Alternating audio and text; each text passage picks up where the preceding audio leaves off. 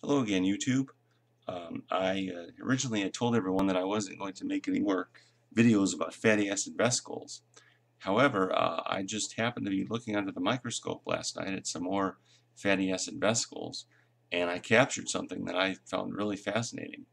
Um, oh, I believe that what you're looking at is the chemical version of cell division, where um, as the fatty acid vesicle incorporates more material from the environment, it grows and it becomes less spherical and more more of a uh, amorphous blob.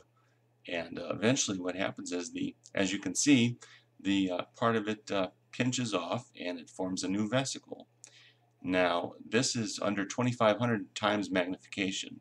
That's why the picture is not as as vivid and as clear as my other videos, uh, because the, as you keep increasing the mag magnification, the resolution keeps uh, falling.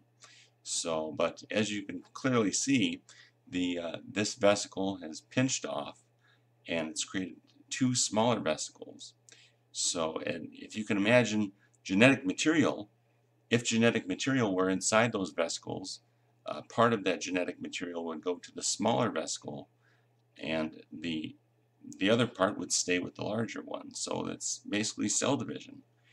And so I just found this really fascinating that, um, that I was able to capture this. I had heard about this, but I wasn't never able to actually see it for myself until now. Well, anyway, I just wanted to share that short video. So, as always, be sure to like and subscribe, and I will be posting another video soon. Thanks for watching.